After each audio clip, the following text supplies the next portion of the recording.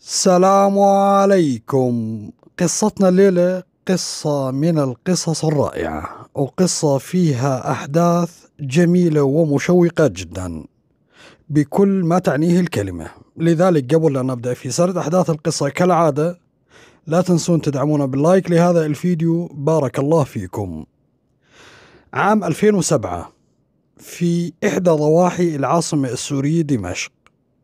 وتحية لأهل سوريا ولا يهون السامعين جميع فيه امرأة ينقالها أم رامي أم رامي هذه سالفتها سالفة. تزوجت من أبو رامي قبل تقريبا عشرين إلى خمسة وعشرين سنة. والله سبحانه وتعالى أرزق أم رامي من هذا الرجال ولد وحيد سمته رامي. وطبعا أبو رامي بعد كم سنة زواج وبعد ما جاهم رامي الرجال توفي بحادث سيارة. وظلت المسكينة أم رامي وحيدة هي وولدها الوحيد وبلشت بالمصاريف ومن هين ومن هناك وأبو رامي ما ترك لها شيء إلا رحمة الله عز وجل اللي هي أفضل من كل شيء. بعد فترة جو أهل أم رامي عليها وقالوا لها أنت ظلين يعني حرمة وحيدة لحالش فيها البيت وما يصير. والمهم حاولت قدر الإمكان أنها ظل ساكنة في منزل زوجها لكن إخوان زوجها كذلك آه، كانوا يعني يضايقونها في بعض الأحيان حاطين عينهم على البيت ويقولوا لك الولد هذا رامي صغير وعلى بين ما يصير ويكبر ويمكن يموت ويمكن يعيش. الدنيا وما فيها وطمعها المهم أهل أم رامي إخوانها وأبوها رجعوا أهلها عندهم على البيت وعاشت هي وولدها سنتين ثلاث. لكن هالسنتين ثلاثة مرا على أم رامي وكأنهن دهر وكأنهن ثلاثين سنة لأنه أم رامي كانت عايشة بين زوجات إخوانها. وزوجات إخوانها ما صدقن على أنها رجعت على البيت والإخوان عايشين في بيت عربي كبير بيت سياح نياح. كل من له جناحه والنسوان هذن استخدما يعني جتهن أم رامي خدامة. اللي صارت تنام للظهر واللي ما تقعد للساعة عشرة 11 والكل صار يتكل على أم رامي أم رامي المسكينة هي اللي تطبخ وهي اللي تكنس وهي اللي تنظف. والكناين هذن نومتهن للظهر. عدا عن البهادل عدا عن الكلمات اللي يلطشنها الأم رامي والمسكينة أم رامي لا حول لها ولا قوة إلا بالله العلي العظيم. تشكي لإخوانها يا فلان زوجتك تقول كذا زوجتك مدري شنو يا فلان. لكن لا حياة لمن تنادي. المسكينة لا تقدر تطلع لا تقدر تفوت يعني هي تطلع وتروح وتجي لكن إذا طلعت النسوان هذن نسوان إخوانها أي سووا لها عرس ما صار. وأول ما يجون إخوانها من شغلهم يقولوا لهم والله إيه هذه ام رامي طلعت وراحت إيه وأختكم هذه راح تجيب لكم العار وبكرة تجيب لكم الفضيحة وبكرة مدري شنو وهذه أرملة. والناس قاعدة تسولف وطلعتها محسوبة ونخاف تجيب لنا بلا وتسوي لكم فضيحة يا معودين ديروا بالكم. ترى أختكم هذه لا ترفعون إيدكم عنها أبدا. يعني لا ترفعون إيدكم خليكم ضاغطين عليها ولا تعطونها حريتها. أنها تطلع وتروح وتجي على كيفها. والإخوان هذولا أذانهم عند نسوانهم. والمسكينة هذه تعاني بالليل وبالنهار وعلى تنظيف وغسيل وتكنيس. والدار الولد. وتروح الأيام وتجي الأيام.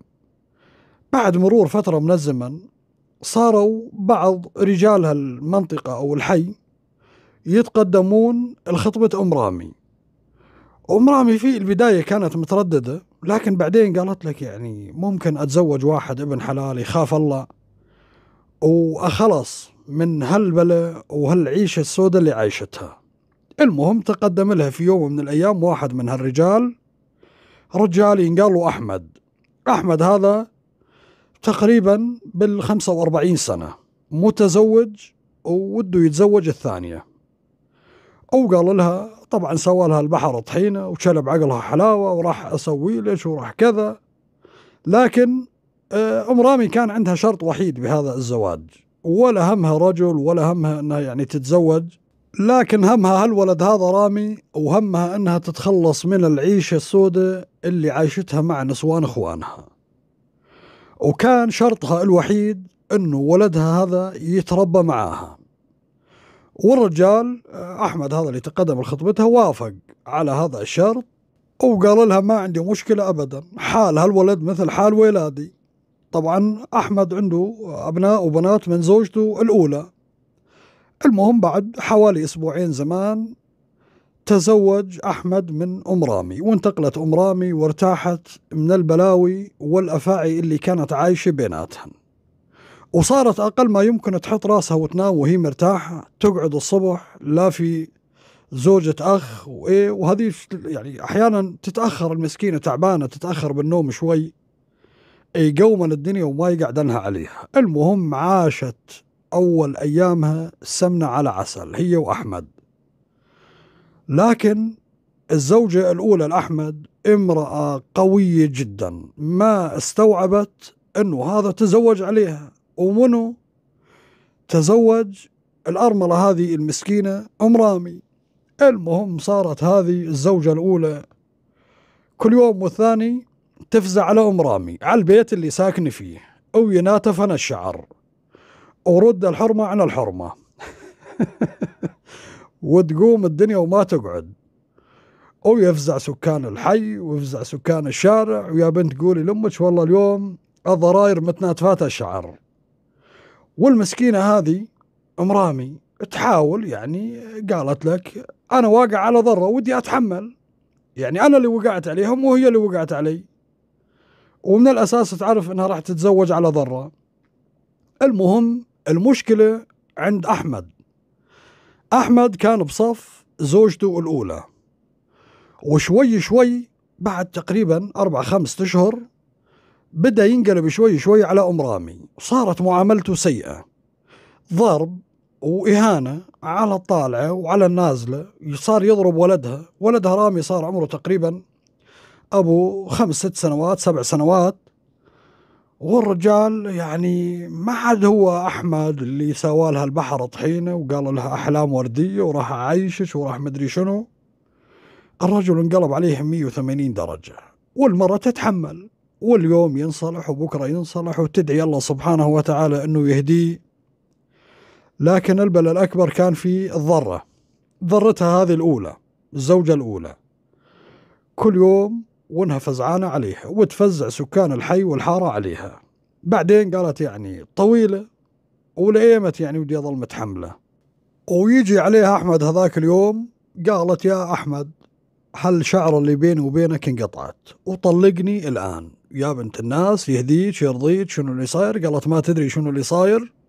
إي أنا هربت من الويل اللي كنت عايش فيه عند زوجات إخواني وظلم إخواني لي. والآن طلعت لي أنت وزوجتك ذوقتوني المر والمرار.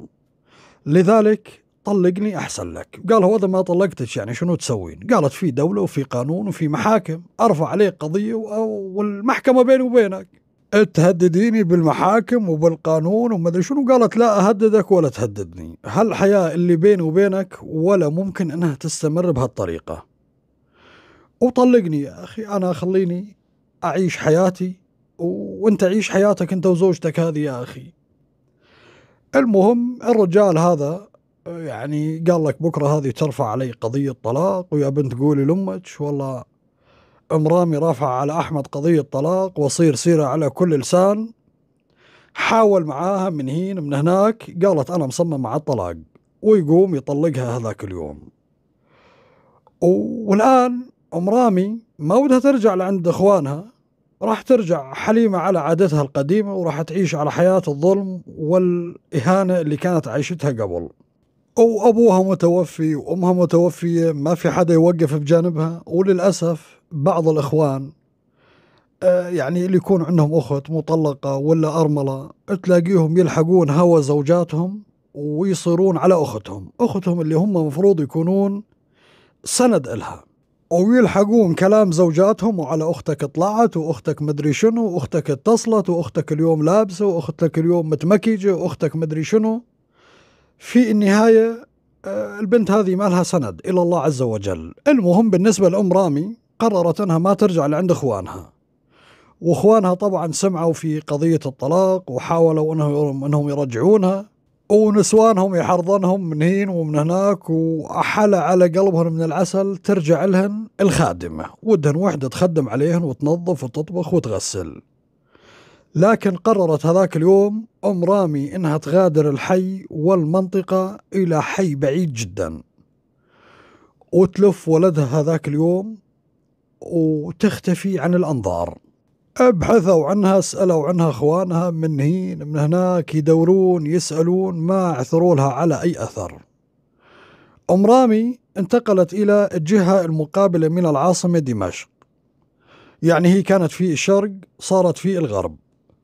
وصارت تشتغل في تنظيف المنازل.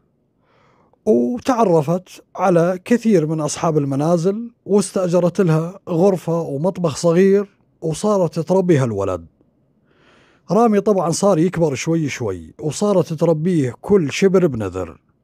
وبعض الأحيان تاخذه معاها على هالبيوت اللي تنظف فيها. تشطف دراج آه، تعزل البيوت تشتغل عندها النسوان. اللي عندها موكيتة ودها تغسلها اللي عندها بيت ودها تعزله وأمورها ماشية. يعني المرأة مستورة وما مشت في الطريق الخطأ. على الرغم من أنه أم رامي عندها جمال لا يستهان فيه لكن المرأة تخاف الله. والمرأة اللي تخاف الله لو ترميها بين ألف رجل ولا ممكن واحد يقدر يلمس شعرة من شعرها. واللي ما تخاف الله عاد هذه على أتفه الأسباب وأهون الأمور تلاقيها تبيع أهلها وتبيع عاداتها وتبيع تقاليدها وتبيع المجتمع وتلحق شهوتها. المهم أم رامي من بيت لبيت ومن درج لدرج وتربي هالولد هذا ودخلته في المدرسة وتروح الأيام وتيجي الأيام وتمر الأشهر والسنين. رامي صار يكبر شوي شوي. بعد ما دخلته المدرسة الولد طلع ما هو فالح في الدراسة وصل إلى المرحلة الابتدائية وبعدين طلع من المدرسة. صار يشتغل في بيع أكياس النايلون في الأسواق يشتغل على البسطات. ومن هين ومن هناك. صار شوي شوي يساعد أمه في المصروف والخرجية. وصار يكبر أو يكبر لحد ما صار هذاك اليوم تقريبا في بداية العشرينيات. وأمه صارت تقريبا في نهاية الأربعينيات. وطبعا رامي لما صار في سن العشرين صار شاب ولا كل الشباب هالطول وهالجسم وما شاء الله الهيبة ويدير باله على حاله ويعتني بنفسه ويلبس أحسن اللباس وشغله ماشي حاله ويشتغل فيها الأسواق. وتعرف من خلال عمله على مجموعة من الشباب والأصدقاء. هذول كل يوم خميس رامي وأصدقائه يروحون على أحد النوادي الليلية. يسهرون وتالي الليل كل من يرجع على بيته. وطبعا بعد ما وصل رامي لهالعمر هذا آه، أم رامي ما عاد تشتغل في التنظيف وصار يعني رامي هو اللي يصرف عليها ويدير باله عليها لكن الأحوال المادية تعبانة جدا. يوم اللي يشتغلون يوم اللي يشتغل رامي ياكلون يوم اللي ما يشتغل يا الله يدبرون حالهم.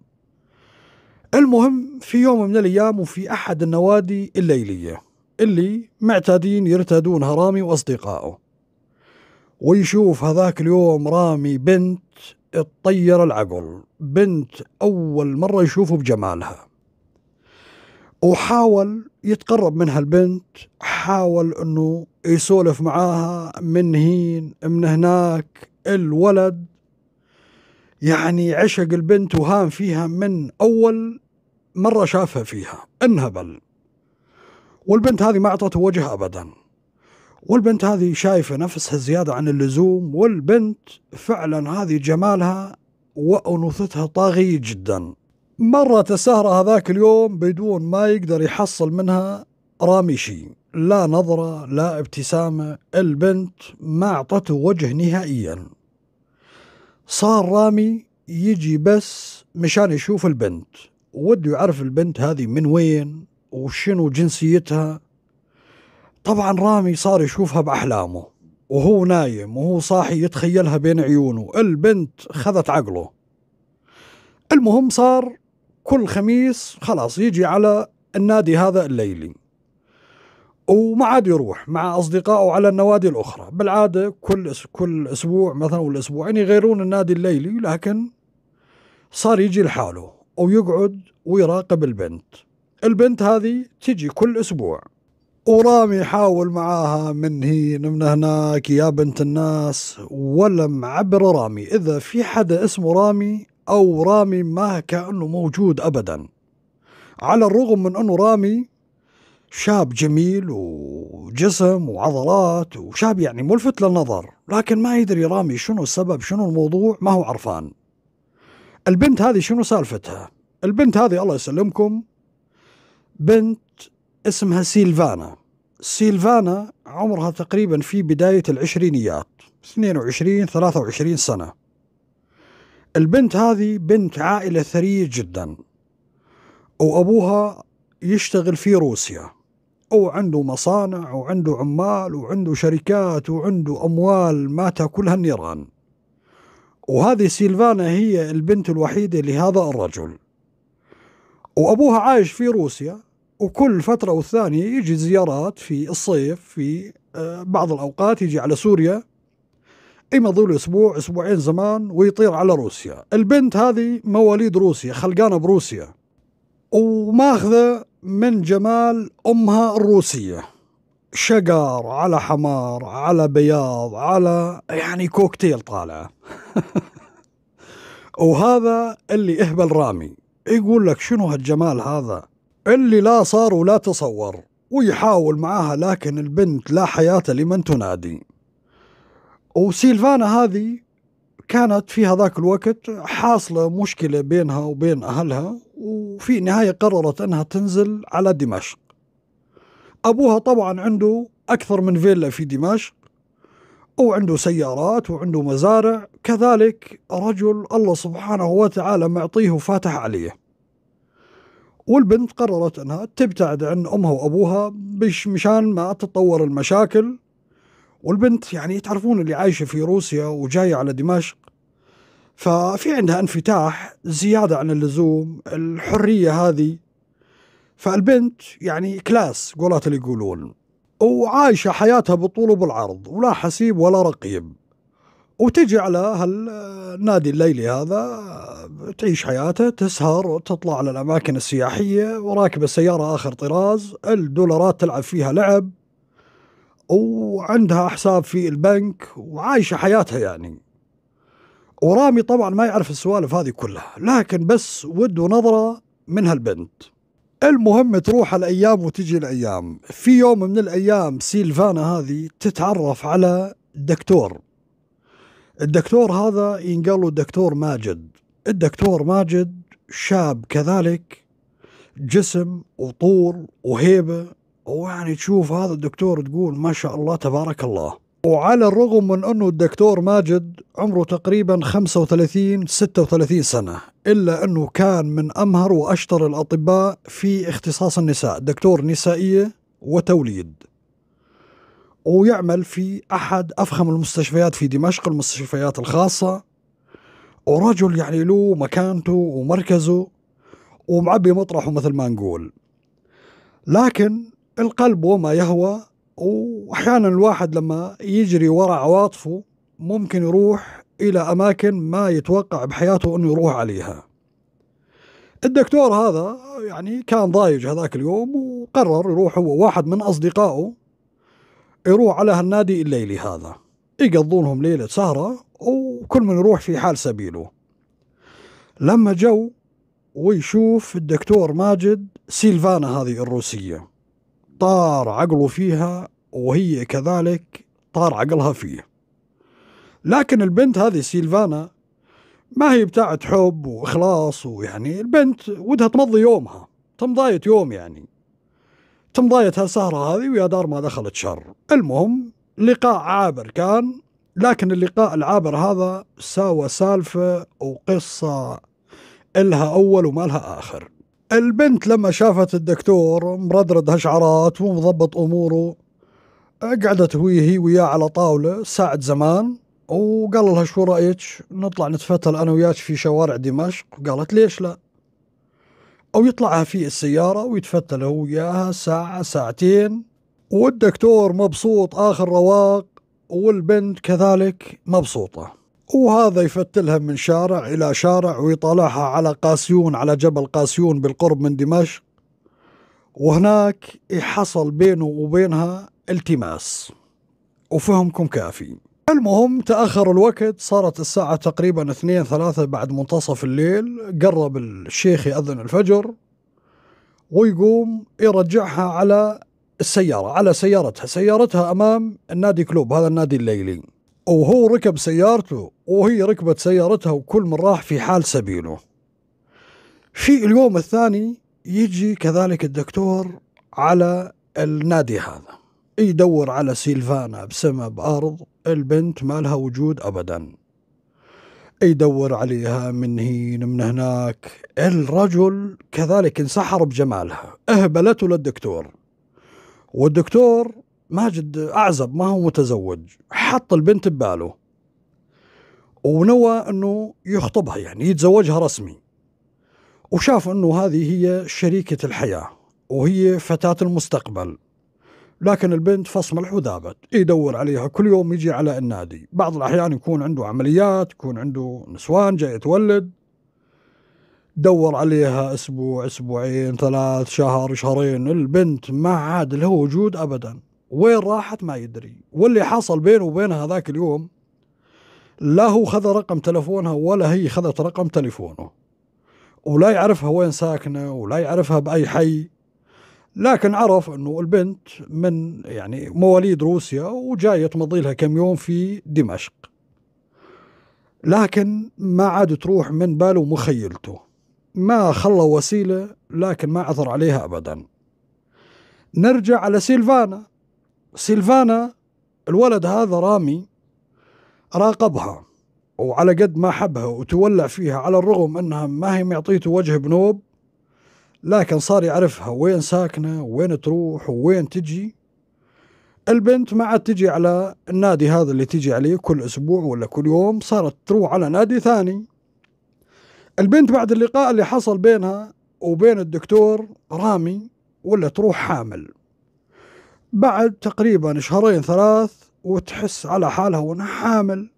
وبدأ بطنها يبين شوي والبنت صحيح يعني مواليد روسيا وعايشة في روسيا لكن كذلك أبوها عنده علاقات وعندها خوال وعندها عمام وعندهم معارف. يعني بالنهاية راح تتقيد في العادات والتقاليد يعني أقل ما يمكن بالحد الأدنى. وفي النهاية الكل يعرف أنه سيلفانا ما هي متزوجة وبكرة راح يبين بطنها وراح يعني تولد والناس بدها تقول وتسولف. ورامي لاحقها على الدعسة. وبعد ما حست بإنها حامل وعلشان تتجنب المشاكل اللي راح تقع فيها. ورامي هذا كل يوم وين تروح؟ على أي نادي؟ على أي مطعم؟ طبعا بعد ما يخلص شغله ويمضي كل هالسهرة يلاحقها والولد صمم على إنه يتعرف عليها أو يتزوجها أو المهم حاط هدف بباله. في يوم من الأيام قعدت سيلفانا وقالت لك هالولد هذا صار له فترة من الزمن هو يلاحقني؟ هي حاسة فيه وشايفته لكن ما هي رضيانة تعطيه وجه. الظاهر أنه قلبها حاسها أو عارفانته أنه منتف وحافي لا وراه ولا قدامه. لكن قالت لك بما أنه هذا مشتريني وصار له فترة يراقبني وحابني ورايدني خلينا نظبط الوضع معاه ونشوف شنو سالفته. المهم بسهرة من السهرات البنت أعطت ابتسامة لرامي ورامي ما صدق على إنه شاف سنون البنت وهي تضحك له وغمزته غمزة المهم جاء قعد عندها على الطاولة وتعرف عليها والولد ما هو مصدق إنه فعلا البنت يعني سمحت له أخيرا. يقعد قبالها ويسولفها ولا البنت لما قرب عليها أجمل بكثير من بعيد. آه تقول له ها أنت من وين؟ وكذا. تتعرف عليه هذا مثل المسطول. إن سطل فيها. المهم مالكم بطول سيرة. تعرفت عليه وتعرف عليها واعطته ريق حلو وحصلت بينه وبينها علاقة حب. من طرف رامي لا صارت ولا جرت. ولما عرف رامي أنه البنت هذه أبوها غني والغني الله عز وجل أو عنده فلوس ورجل أعمال في روسيا قال لك هذه هي جت على رجليها. هذه بكرة أتزوجها وأطير على روسيا. أصير مدير أعمال أبوها وأصير ألعب بالدولارات وسيارات وأملاك. وصار يعيش الأحلام الوردية. المهم وظل سيلفانا ورامي تقريبا شهر ونص والبنت بطنها بدأ يبين. ورامي قاعد يشوف الوضع يعني قال شنو هذا؟ شنو الموضوع؟ شنو السالفة؟ قالت له السالفة وما فيها أنا حامل. وصراحة أنا حبيتك. وخلينا نتزوج أنا وياك ونعيش حياتنا لكن بشرط. شنو الشرط؟ قالت اللي بطني ما أنزله. وما لك شغل فيه. وراح أخليك تعيش حياة تحلم فيها. طبعا عرفت أنه رامي حافي منتف ما عنده شيء. آه، شغيل عامل عادي يعني. وشرطت عليها شرط وقالت له راح أخليك تركب سيارة آخر موديل يحلم فيها كل شاب. وبيت وشقة والأمور على 24 إيش رأيك يا رامي؟ رامي متردد ها أقبل ما أقبل. المشكلة البنت جميلة وكذا لكن اللي بطنها هذا وشلون؟ قاعد يحسبها براسه وقال لك يعني أنا همي أتزوجها وصحيح حابها هو لكن لما شاف الموضوع إنه البنت حملانة بطريقة غير شرعية وما يعرف أبو الولد منه لكن السالفة فيها سيارة آخر طراز وفيها بيت أو فيلا وفيها بعدين طلعة على روسيا. ويجيبها ذاك اليوم على أمه. قال خليني أعرفك على أمي. أم رامي لما شافت سيلفانا البنت رغم جمالها لكن أول ما انتبهت أم رامي على بطنها. ولا البنت بطنها مبين. سحبت ولدها رامي على جنب قالت يا ولد من هاي المرأة؟ شنو المرأة اللي جايبها علي؟ قالها يا ماما هذه البنت صراحة يعني أنا حابها ودي أتزوجها. قالت يخرب بيتك. واللي بطنها هذا شنو؟ قالها والله يعني عرفت أم رامي أنه في غلط في الموضوع. قالت دير بالك والبنت هذه ما تلزمك. وطبعا رامي ما قال لها أنه البنت حامل من حدا غيره. قال حصل خطأ بيني وبينها وقالت يا ولدي البنت هذه ما تلزمك وإذا تزوجتها تراني أغضب عليك. يا ماما يطولك يقصرك يا عيني. راح أركب سيارة وراح أعيش في فيلا وأخليش تنسين الأسى والذل اللي كنتي عايشته قبل وأخليش تلعبين بالفلوس لعب ولا أسافر أنا وياك على روسيا ونعيش حياتنا هناك وبكرة أصير رجل أعمال. قالت يا ولد اتركك من الأعمال واتركك من الدولارات الإنسان بلا كرامة ترى ما يسوى شيء. والبنت هذه يا ابني والله ما تلزمك. ودير بالك وابعد عنها لكن رامي لا حياة لمن تنادي. أول شيء عشقان البنت وهيمان فيها وصار له فترة من الزمن يطاردها من نادي إلى نادي ومن مطعم إلى مطعم. وفي النهاية قرر أنه يتزوج من سيلفانا. وسيلفانا كلمت أهلها وقالت أنا لقيت شاب وتعرفت عليه وشاب محترم وكذا شذبت عليهم. وأبوها كان في روسيا عنده اجتماعات وعنده مصالح وأشغال والشغل طامر وطمر ما يقدر يجي. وقالت لازم أتزوج والشاب تقدم لي. المهم وافقوا على الزواج وقالوا لها ساعة المباركة. أو يزوج رامي من سيلفانا. وكل ما يجي على أمه تطرد أمه من البيت. قالت مازالك تزوجتها لا أنا أمك ولا تعرفني ولا أعرفك. طلق المرأة هذه وتجي لعندي. صارت العلاقة بينه وبين أمه علاقة سيئة جدا. وهذا رامي عاش حياته. اشترت له سيارة موديل 2006 موديل سنتها. وسكنت هي وياه في أرقى الشقق في العاصمة دمشق في حي راقي جدا. افتحت له حساب بالبنك صار يلعب بالفلوس لعب. عايش حياته بالطول وبالعرض واللي يطلبه رامي يصير. والولد ما عنده مشكلة إنه هي حامل من حدا غيره وقال لك إذا هي ما هي مدورة يعني أنا في النهاية بكرة فترة من الزمن بعد ما تولد وهذا أركب أنا وأطير على روسيا وهناك أحصل على إقامة وأصير مدير أعمال أبوها. وهذا تفكير رامي يعني. المهم تروح الأيام وتجي الأيام. سيلفانا لما تزوجت رامي كان صار لها حامل أربع شهور وباقي لها خمس شهور تقريبا لحد ما تولد. وعرض عليها موضوع إنه تسوي إجهاض وبلها الولد وخلينا نخلص منه لكن سيلفانا قالت أنا هذا شرطي شرطي إني ما أسوي عملية إجهاض والحمل هذا ودي اكفيه رامي رضى بالأمر الواقع وفلوس وسيارة وروحات وجيات وعايش حياته. وصار عايش حياة الأغنياء يلبس أفخم اللباس يروح على أغلى المطاعم يعني كل شيء صار من أحسنه.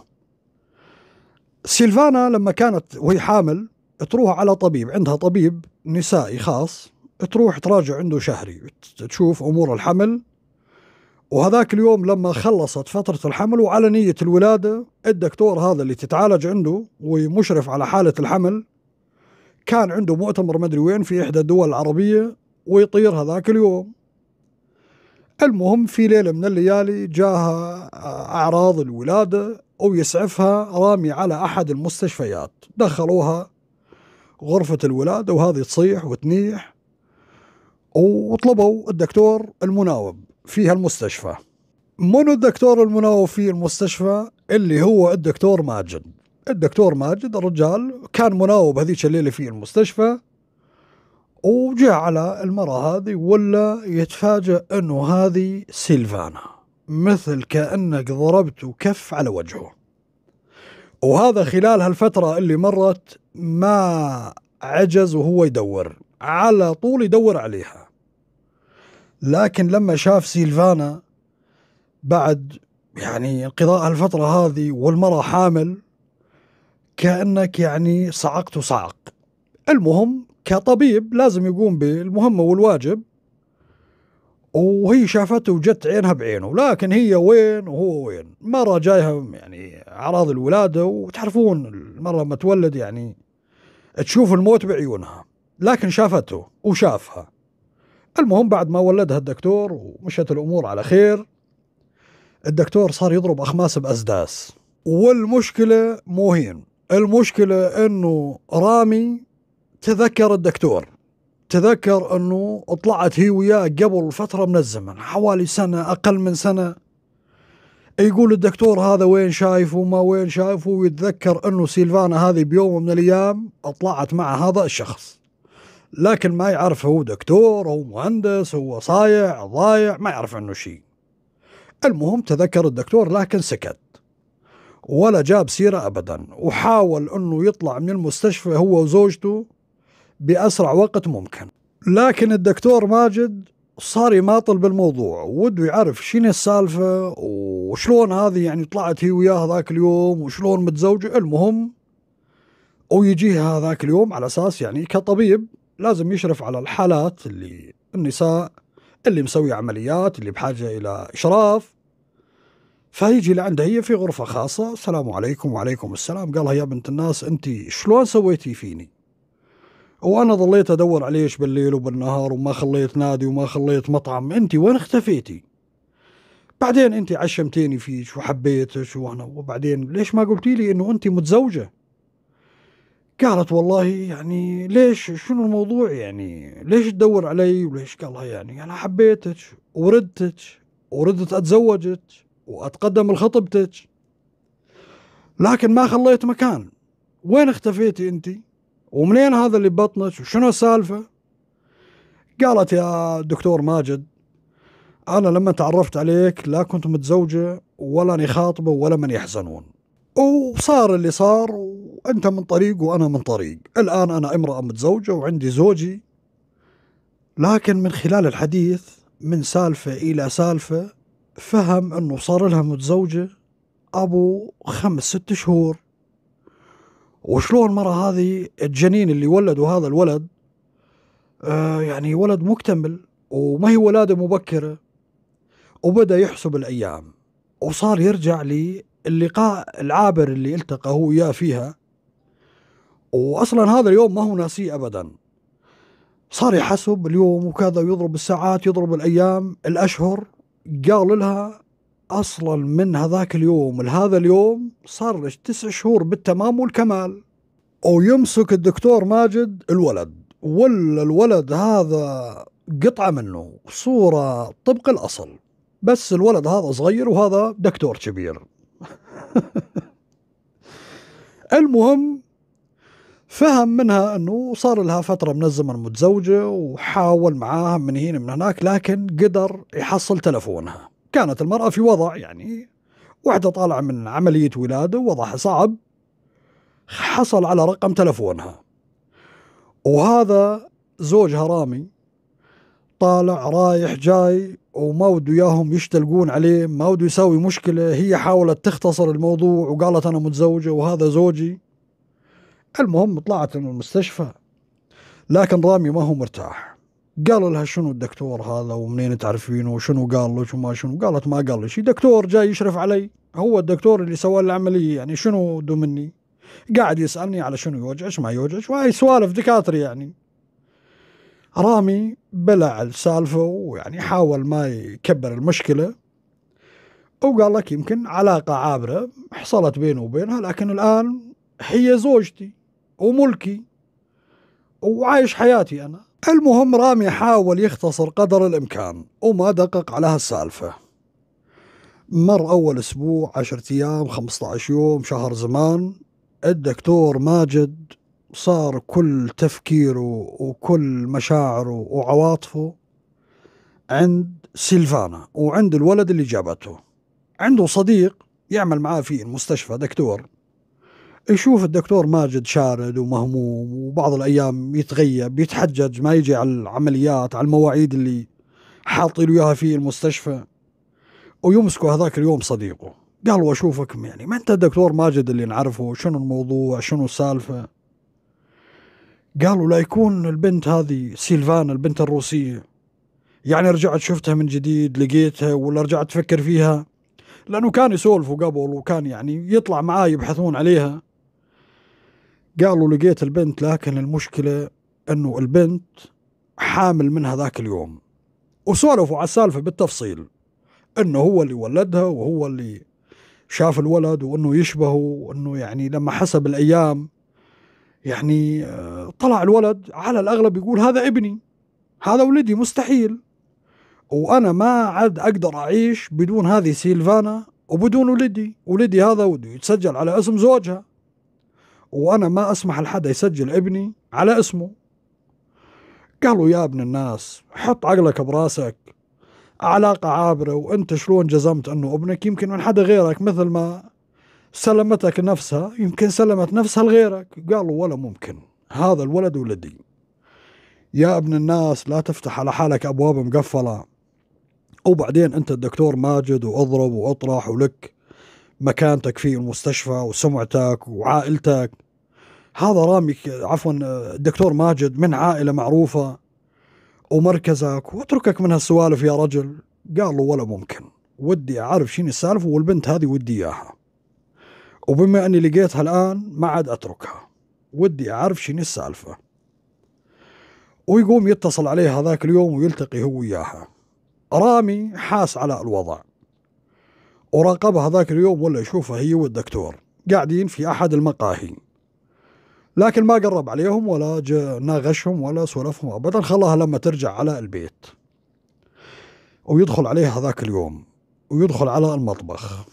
ويدور في الأدراج اللي فيها سكاكين وفيها صواطير أه، صار يقلب بين هالسكاكين هذه تذبح هذه ما تذبح هذه تقطع هذه لا هذه مدري شنو يمكن هذه ما تضبط. بعدين قال أعوذ بالله من الشيطان الرجيم.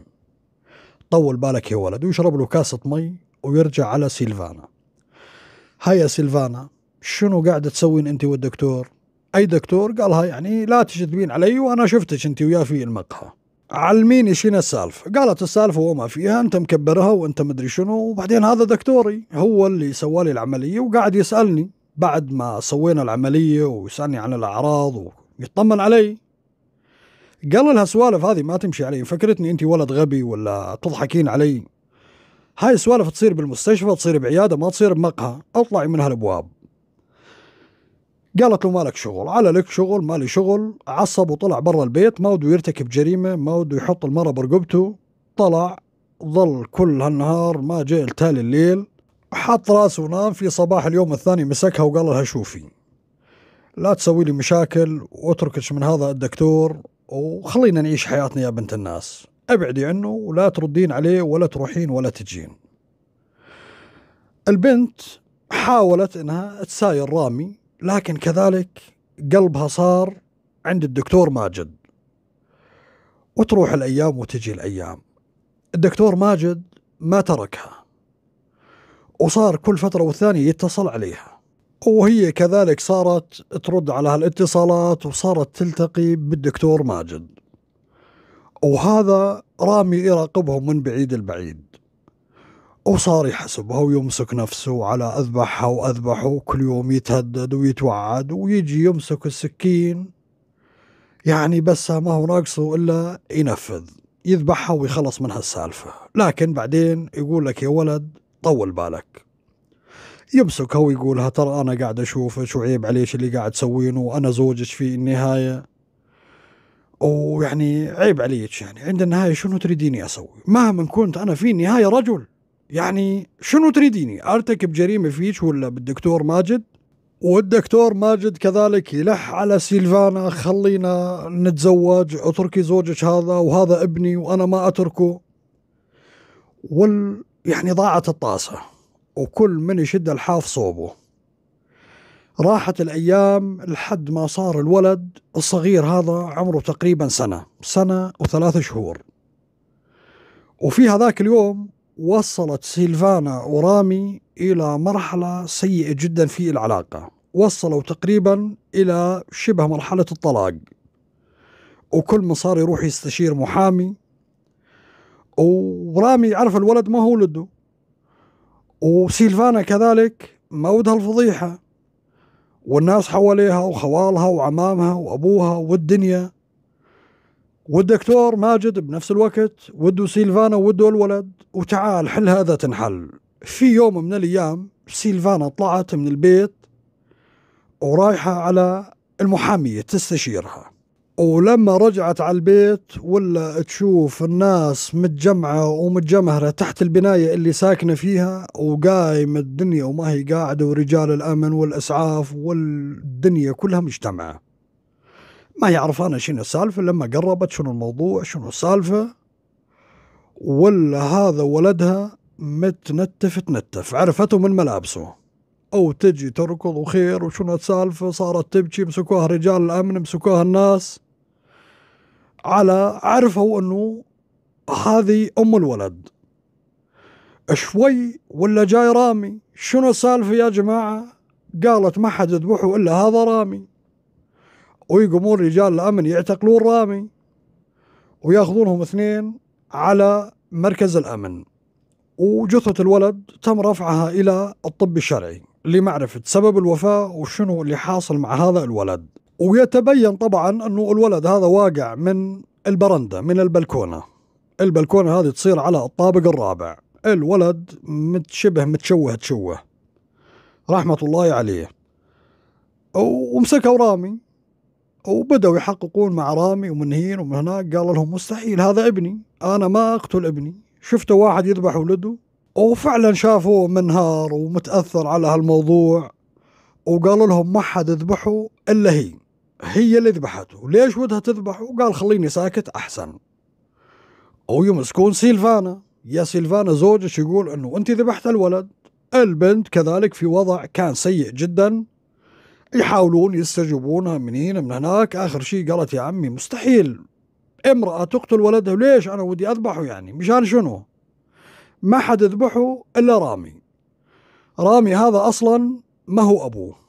شلون ما هو أبوه شنو تقولين يا بنت الناس؟ هذا زوجك؟ قالت مثل ما أقول لكم هذا ما هو أبوه يعني هذا اللي اللي عندي. ويرجعون على رامي. يا رامي أنت تقول ولدي والمرة هذه تقول ما هو ولدك؟ قال لا ولدي وهذه كذابة ومقطعة وموصلة وحسبي الله عليها وعندها علاقات وعندها. المهم في النهاية جت سيرة الدكتور ماجد. شنو الدكتور ماجد؟ قال الدكتور ماجد هذا هو اللي طلع لي وخرب حياتي. ويروحون يجيبون الدكتور ماجد. تعال هنا يا دكتور ماجد. شنو علاقتك بسيلفانا وزوجها رامي وشنو الموضوع؟ قالوا لهم رامي ما أعرف ولكن سيلفانا أعرفها. ولكن أنتم ليش جايبيني؟ يعني أنه يعني أنا دكتور واعتقلتوني في المستشفى وجايبيني بطريقة يعني ما هي زينة وكذا. قالوا يا دكتور أنت الآن متهم بجريمة قتل. قتل منو؟ قالوا قتل ولد سيلفانا. هذا الدكتور ماجد لما سمع إنه ولده هذا ميت أو مقتول وقع بالأرض وحاولوا يصحونه. يا جماعة شنو السالفة؟ شنو الموضوع؟ قالوا أنت الآن متهم بجريمة قتل. ودك تعترف شلون قتلت الولد. طبعا رامي صار يقول إنه ماجد هو اللي قتل الولد هو وسيلفانا الدكتور ماجد خوفا من الفضيحة. وسيلفانا كذلك خوفا من أهلها يسألونها منين الولد والقضية راح تنتشر وراح أكيد تصل لاهلها بينما سيلفانا صارت تقول لا اللي قتل الولد رامي لأنه ما هو أبوه وأصلا يكرهه ولا يقرب عليه. أو تعال حلها إذا تنحل. في النهاية قدرت سيلفانا أنها تثبت وجودها عند المحامية اللي كانت رايحة تستشيرها في وقت الوفاة. ولما جت لقت الحادثة أمامها. وكذلك الدكتور ماجد كان في وقت وقوع الولد من البرندة كان في غرفة العمليات عنده عملية. ما ظل الآن غير حديدان بالميدان ما ظل غير رامي. وبالضغط على رامي ويعترف رامي هذاك اليوم بالجريمة اللي ارتكبها. قال أنا صراحة عضيت على أصابعي ويعني رضيت بأنه البنت مساوي علاقة وحامل. وقلت يا ولد حط على الجرح ملح وكان همي إني أعيش حياتي. ويعني أعتبر أنه الولد هذا مثل ولدي. وفعلا أنا كنت ناوي على هذا الشيء. وقلت يا ولد بكرة تطلع على روسيا وتعيش حياتك وتطلع أنت وأمك على الرغم أنه أمي كانت معارضة هذا الزواج. وفي النهاية هذا اللي حصل. لكن لما شفت اللعبة وشفت أنه البنت صارت تلعب علي وتطلع على عينك يا تاجر وتلتقي مع الدكتور ماجد صراحة حاولت أكثر من مرة أني أقتلها وأقتل الدكتور. لكن جيت هذاك اليوم معصب وزعلان وطلع الولد بوجهي. بعد ما طلعت هي من البيت. طلعت أنا أتمشى شوي ورجعت على البيت. أو يطلع الولد بوجهي. وأمسك الولد وأرميه من فوق البلكونة. وأطلع من المدخل الخارجي للعمارة. ولا حدا شافني ولا من شاف ولا من دري. وهذا اللي جرى وهذا اللي صار. طبعا جابوا رامي ومثل الجريمة وتم تقديم رامي للمحاكمة. وتم الحكم على رامي هذاك اليوم بالإعدام شنقا حتى الموت. وسيلفانا دخلت في حالة نفسية سيئة بعد ما فقدت ولدها وبعد فترة من الزمن تركب طيارة وتروح على روسيا. رجعت على روسيا ولا عاد رجعت على سوريا. أما بالنسبة للدكتور ماجد الدكتور ماجد كذلك دخل في حالة نفسية سيئة بعد ما تم إجراء فحص الدي ان إيه بين آه، الدكتور ماجد وجثة الولد وطلع فعلا أنه الولد هذا يرجع للدكتور ماجد. وكانت هذه نهاية القصة. طبعا القصة فيها الكثير والكثير من العبر اللي نستخلصها من خلال مجريات أحداث هالقصة مثل هذا رامي ركض وراء الفلوس وراء السفرة على روسيا وراء المظاهر. وفي المقام الأول ما رد على أمه. أمه اللي ربته كل شبر بنذر. وقالت له غضب عليك إذا تتزوج البنت هذه. لكن في النهاية ما رد على أمه ولحق عواطفه وشهواته وركض وراء البرستيج والسفر. في النهاية ما حصد شيء. وفي النهاية خسر شبابه ووصل نفسه إلى حبل المشنقة. وهناك الكثير من العبر اللي نستخلصها من خلال مجريات وأحداث القصة. في النهاية لا تنسونا من اللايك والاشتراك. بارك الله فيكم. واللي عنده أي قصة يحب يرسل لي إياها وأرويها في هالقناة لا يتردد أبدا عن طريق رقم الواتساب اللي تلاقونه في التعليق المثبت دائما وفي لمحة القناة واللي راح نقوله الآن صفرين تسعمية واثنين وستين سبعة تسعة صفر واحد خمسة صفر اثنين صفر اثنين. سبحانك اللهم وبحمدك أشهد أن لا إله إلا أنت أستغفرك وأتوب إليك. دمتم في رعاية الله وحفظه.